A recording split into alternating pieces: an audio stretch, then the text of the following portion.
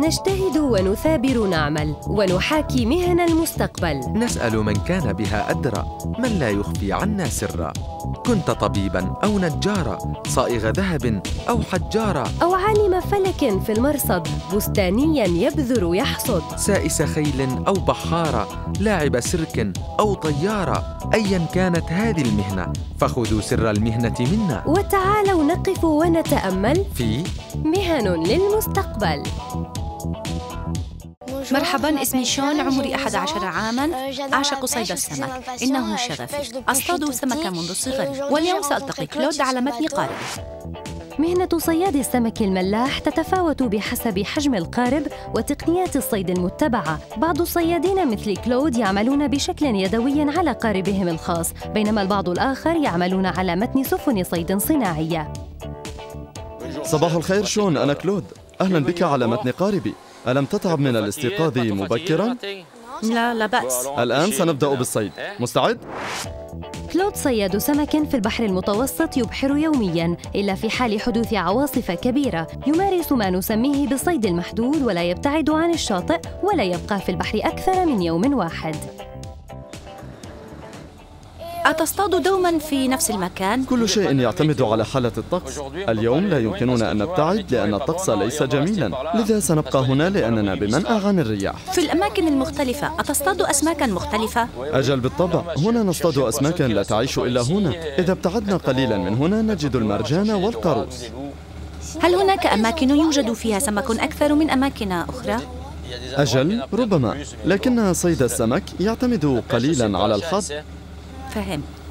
يجب أن نبحث عن السمكة أينما كانت.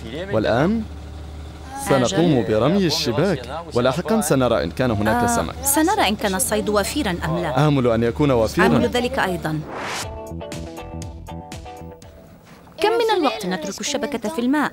هذه الشبكة لا نتركها لمدة طويلة حوالي ساعة ونصف أو ساعتين وعندما يطل النهار نقوم بسحبها. الشباك المخصصة لصيد الكركند نتركها أكثر من يوم لكي يعلق السمك بداخلها ويأتي الكركند لأكله. أترى كيف نقوم بذلك؟ هيا خذ مكاني. لا تضع رجلك عليها.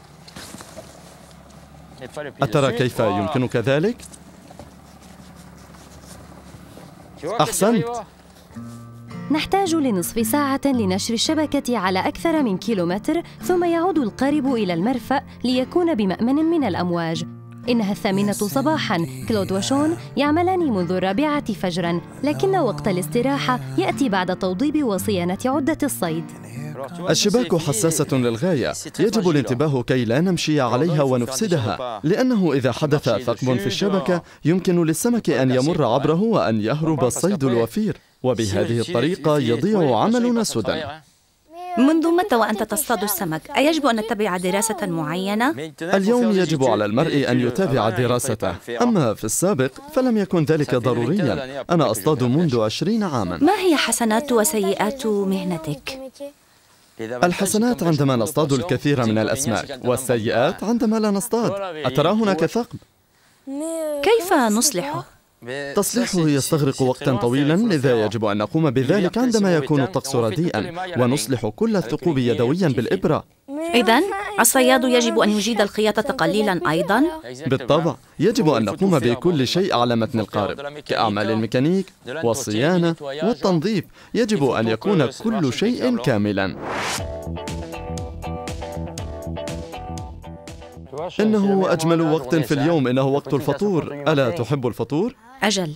أتريد قطعة؟ أجل. تفضل. شكرا. ما مواصفات الصياد الماهر؟ الصياد الماهر هو الذي يستيقظ باكرا كل صباح ويذهب للصيد بانتظام كل يوم إن أمكن وأن يقوم بصيانة الشبكة والمعدات جيدا. هل أنت صياد ماهر؟ يجب أن أكون صيادا ماهرا لأنني أحب البحر وأحب مهنتي أيضا. وكما تعرف أنا لا أحب الشباك المثقوبة. نعود إلى مكان الصيد لرفع الشبكة. عادة يصطاد كلود حوالي 80 كيلوغراما من السمك يومياً. إنه يصطاد السمك ويحب أيضاً صيد القشريات. ما هي أجمل ذكرى عن الصيد بالنسبة لك؟ اصطياد 183 كيلوغراما من الكركند واو هذا كثير. آه أجل. ما هذه؟ إنها سمكة البوغو. أجل. اصطدت أسماكا أكبر منها بسنارة الصيد. حقا؟ أجل أسماكا كهذه. أتريد أن تسحب الشباك؟ تعال جرب. أجل بالطبع. تعال وحاول. حاول فك هذا. هيا. هذا سهل. أمسك السمكة من رأسها. بالنسبة إلى شون لا يبدو الأمر سهلاً.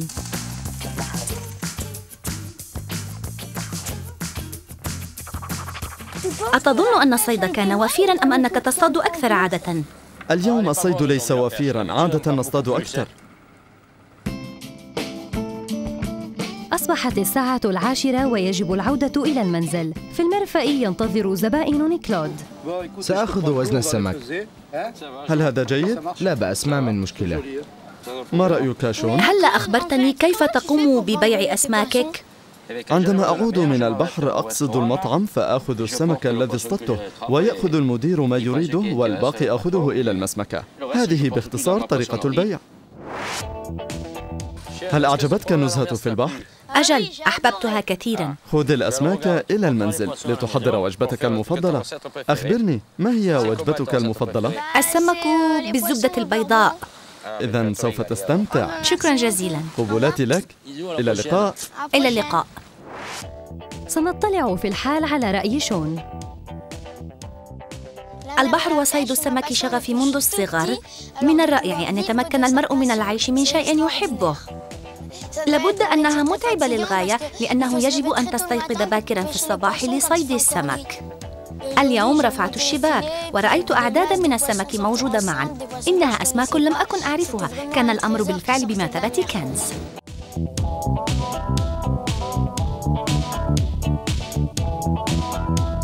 صباح الخير أنا أدعى لورا. أحلم بأن أصبح مغنية. أنا سعيدة لأنني سألتقي بمغنية حقيقية. اليوم ستلتقي لور بميروسلافا وهي مغنية معروفة جدا في أمريكا الوسطى وتغني في فرنسا منذ خمس سنوات. مرحبا. مرحبا. أنت لور الصغيرة التي تريد أن تصبح مغنية؟ أجل. ميروسلافا مغنية محترفة منذ أكثر من عشرين سنة. بدأت بعملها في أمريكا الوسطى أحيت الحفلات وقامت بعدة جولات وأيضا لديها اسطوانة. وشاركت في برنامج أوروفيزون كما كانت مساعدة مدرب الغناء عند مادونا وجينيفر لوبيز. اليوم هي أيضا أستاذة في الغناء وهي الآن تدرب عددا من النجوم. فلنعش مع ميروسلافا كيف أصبحت مغنية؟ بدأت في سن مبكرة. في السابعة عشر من عمري كنت في أوركسترا معروفة في أمريكا الوسطى. فغنيت خلف مغنين معروفين. من بعدها أطلقت أسطوانتي الأولى. ومن ثم أسست فرقة غنائية. وهكذا صنعت اسما لي. قفي قبالتي. ستنفخين. تنفسي هكذا. تعطي ميروسولافا دروسا في الغناء اليوم. لور هي من ضمن التلامذة ونبدأ بعمل المغنين الدائم التنفس. لكي نغني جيدا علينا أن نتنفس جيدا. هذا هو التمرين الأول.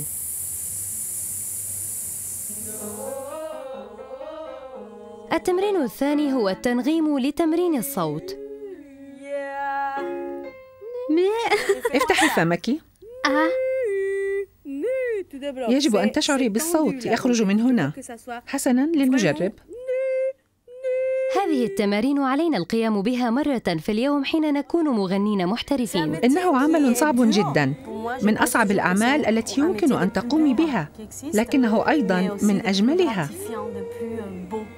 لما هذا العمل صعب؟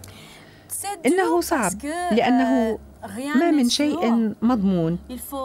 لن يكون لديك مكافأة مؤكدة.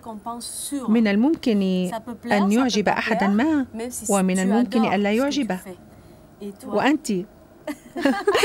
لما تريدين أن تصبحي مغنية؟ لأنني أعشق الغناء. أحبه منذ أن كنت صغيرة. هل تغنين الآن؟ نعم أنا أشارك في كورال. لهذا أحب الغناء منذ كنت صغيرة. وإن تمكنت من تحقيق ما أحب. نعم، سأكون هذا سعيدة. سآتي إلى جانبك. هذا القسم يخص رينو.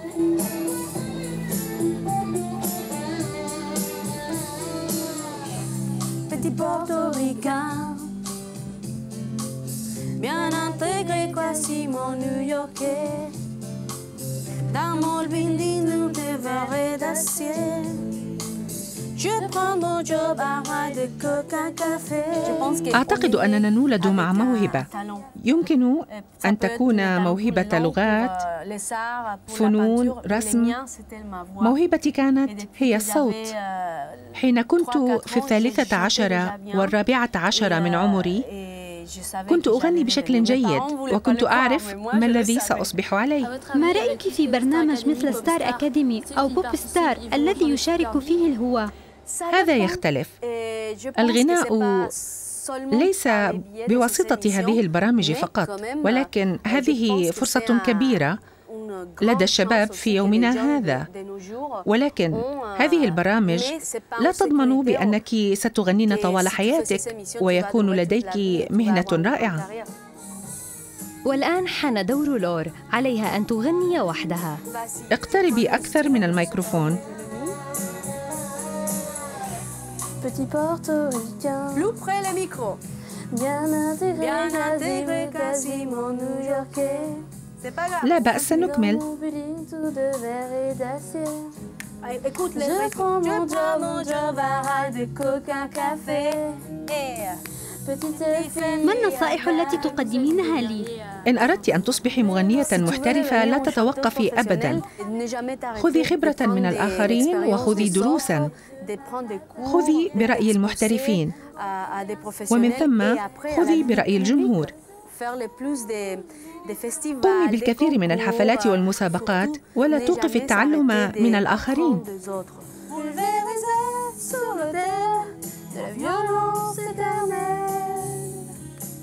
جيد.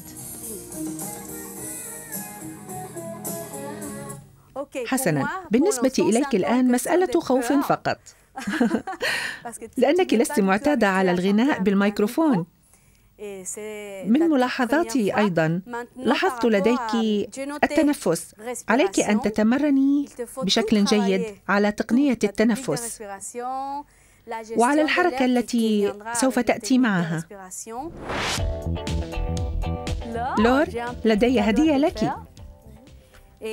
لا أعرف إن كنت تعرفين فرقة نجوم البوب هذه. وقعوا لك على اسطوانتهم شكرا. لورا الجميلة قبلاتنا أنجيل ماري لور أليكس بوكي أوفيلي. شكرا. تفضلي. سررت بالتعرف إليك. كنت سعيدة جدا بلقائك. إلى اللقاء. ننهي الحلقة حالا مع لور. أنا أحب الغناء. وحين نكون مغنين نقوم بهذا مئة في المئة. ونقوم بالكثير من التمارين. وهذا أمر رائع. في هذه المهنة يجب أن نعمل كثيرا. وهناك الكثير من المنافسين دائما. نكون قريبين من الجمهور. ونصبح مشهورين في العالم. وهذا أمر مدهش وأحبه.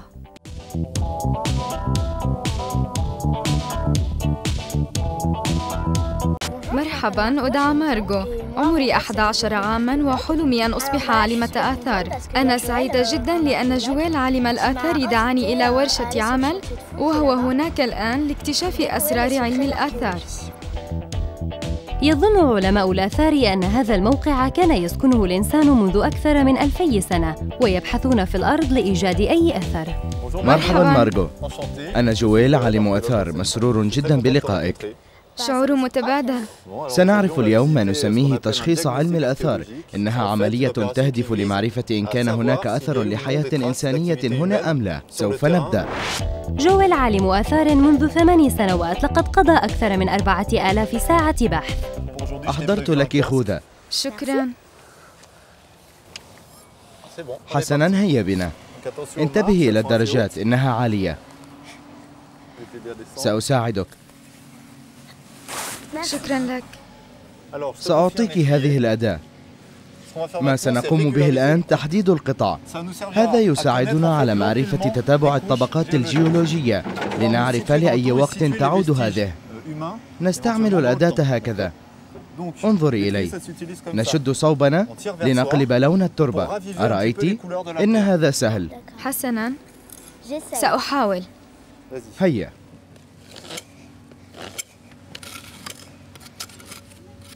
إنها قطعة خشب صغيرة. أرأيت الفحم هنا؟ هناك عدة احتمالات لوجوده هنا. إما لأن رجلا ما قد أشعله في وقت ما وقد نقله النهر إلى هنا أو أنه فحم بسبب حريق طبيعي. أحيانا يدلنا هذا الأمر على نشاط لوجود الإنسان هنا. مارغو نحن هنا في منطقة حيث يوجد آثار تم اكتشافها من قبل. سأطلب منك أن تكملي. ولكن استعملي المسطرين. المسطرين هو آلة مملسة تناسب البحث الدقيق. نبحث بتقليب التربة. لا أعتقد أننا سنجد شيئا اليوم. لا لا تخافي. سنجد شيئا ما. ولكن يستغرق ذلك وقتا. وبعد لحظات انظر شيء ما هنا. إنك تقومين باكتشافك الأول. أرى هذا أيضا يبدو أنها عظمة. قلت عظمة؟ أجل. وكيف عرفتي لقد ميزتها من شكلها. احفري حول الرأس. ثم استعملي الفرشاة. من الممكن أن يكون إنسانا من العصر الحجري. لا أعرف بالضبط ماذا لكن هذا جيد. إن كان إنسانا من العصر الحجري بحد ذاته يمكنك أن تأخذيه ولكن على مهل لأنه من الممكن أن يكون هشا. قومي بهذا على مهل. رائع. هذا اكتشافك الأول. لا تنزع التراب من داخلها فهذا خطأ. فنحن ننزع التراب عندما نغسلها في المختبر فهذا عملنا. بعد البحث أخذها للتعرف على الوجه الآخر لعلم الآثار وهو العمل في المختبر. ماذا يجب أن ندرس لنصبح عالمي آثار؟ عليك النجاح بالبكالوريا العلمية حتى تتمكني من الدخول إلى الجامعة لتدرسي علم الآثار.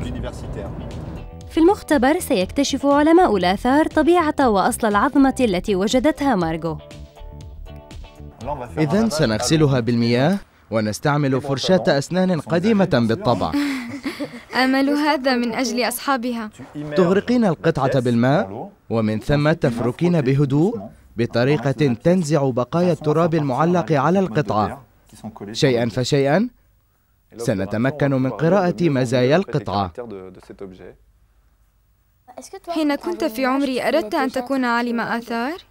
شخصيا إنه شغفي منذ كنت صغيرا. أحببتها حين قرأت قصص رهان حول العصر الحجري وأنا أحببت بالذات تلك الحقبة. أجل معك حق. هذا رائع. ما هي المزايا المهمة إن أردت أن أصبح عالمة آثار؟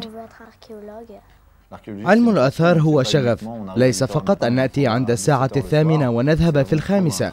إنه قبل كل شيء عمل صبر. من حين إلى آخر تقومين بتشخيص يدوم عدة أسابيع ولا تحصلين على أي شيء ولا يكون لديك أي نتيجة. والآن يجب أن نجفف القطعة. برأيك ما هي هذه القطعة؟ في الواقع يبدو لي أن هذه العظمة هي عظمة بشرية وبالتحديد عظمة ساق القصبة الكبرى؟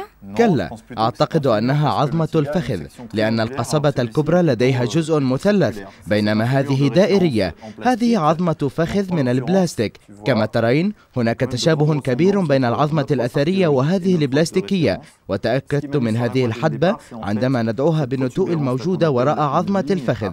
منذ أن كنا في الورشة تأكدت أنها عظمة بشرية. والآن انظر إليها جيدا. حسنا. اقتنعت؟ لنختم هذا اليوم ولتشجيعك على متابعة بحثك حول علم الآثار قررت إعطائك شيئا. أولا قرص مدمج عن علم الآثار. شكرا.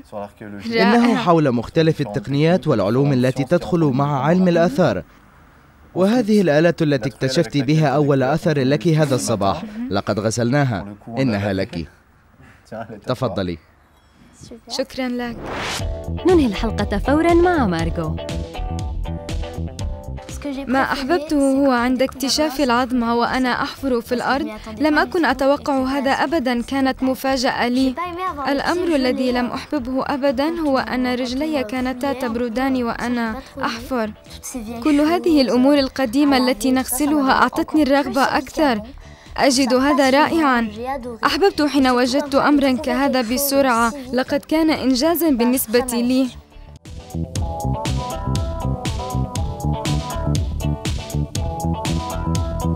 صباح الخير أدعى أدلين. عمري أحد عشر عاما وأود أن أصبح أخصائية تجميل.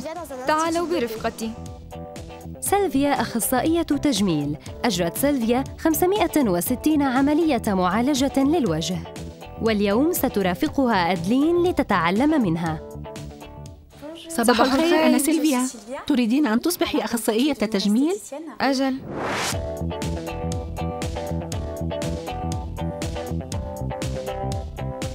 سأقترح عليك. هناك زبونة في الغرفة. سنقدم لها العديد من العلاجات وأنت ستساعدينني.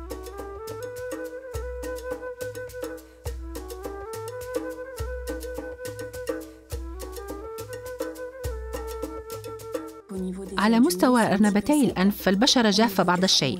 على صعيد الجبين سنقوم بمعالجة لترطيب البشرة. وأولا نبدأ بإزالة المكياج عن البشرة. أزيل المكياج عن البشرة بهذه الطريقة بالاتجاه الخارجي. حسنا. هكذا. كيف أصبحت أخصائية تجميل؟ لطالما أحببت مواد التجميل والمكياج والعطور. وفي عمر الرابع عشرة اصطحبتني أمي إلى أخصائية التجميل وفي ذلك الحين أردت مزاولة هذه المهنة. سننتقل إلى التصميغ. إذ يؤدي إلى إزالة الخلايا الميتة وإلى تلطيف البشرة. والآن سنستعمل آلة على البخار.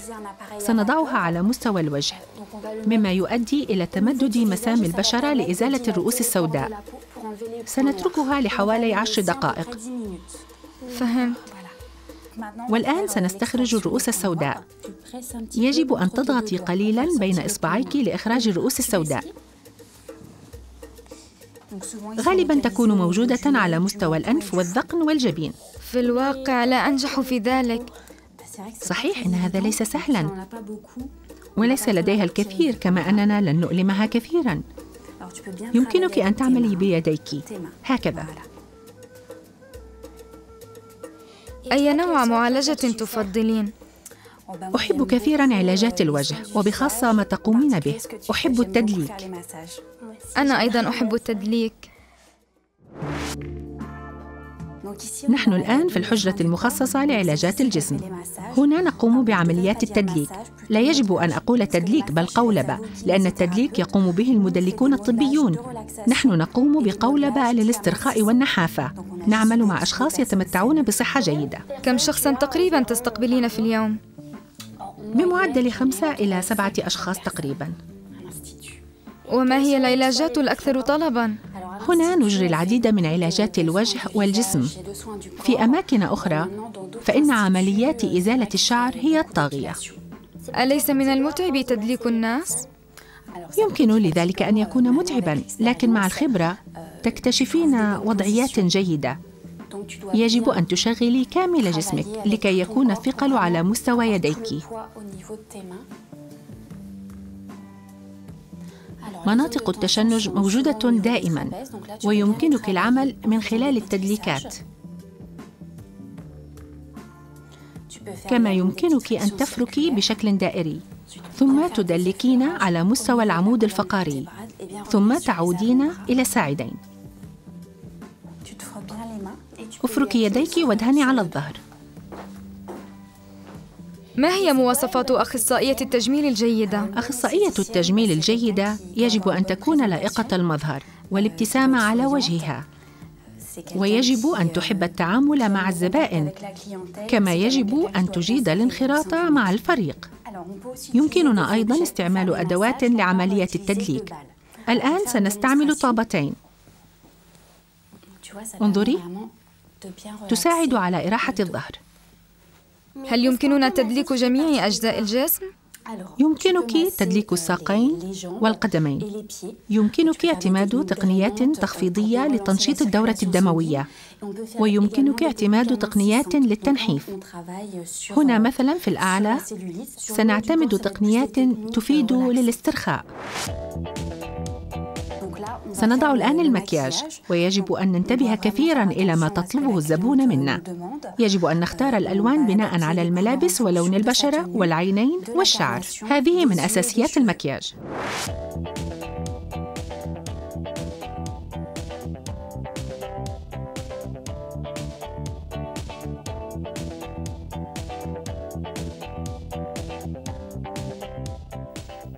هل يجب أن تطلعي على التقنيات الجديدة والمكياج الجديد؟ هل هذا مفيد في مهنتك هذه؟ أجل بالطبع لأنك عندما تعملين لماركة معينة هناك دائما مواد جديدة وعلاجات جديدة. عليك تحديث مهاراتك. انتهينا. آمل أنك أمضيت نهارا جيدا وتعلمت أمورا جيدة. أجل وبخاصة أحببت التدليك. أقدم لك كريما للجسم وطابتين وبذلك يمكنك التمرن على التدليك في منزلك. شكرا. إليك قبلة كبيرة. إلى اللقاء. إلى اللقاء. والآن سنطلع على رأي أدلين. من الجيد أن نجمل الناس لأن ذلك يروق لهم. يجب على المرء أن يتمتع بقوة في يديه لأن تدليك عشرة أشخاص متعب. بما أننا نقوم بالعديد من العلاجات في اليوم أظن أنه لا يجب أن نشعر بالملل.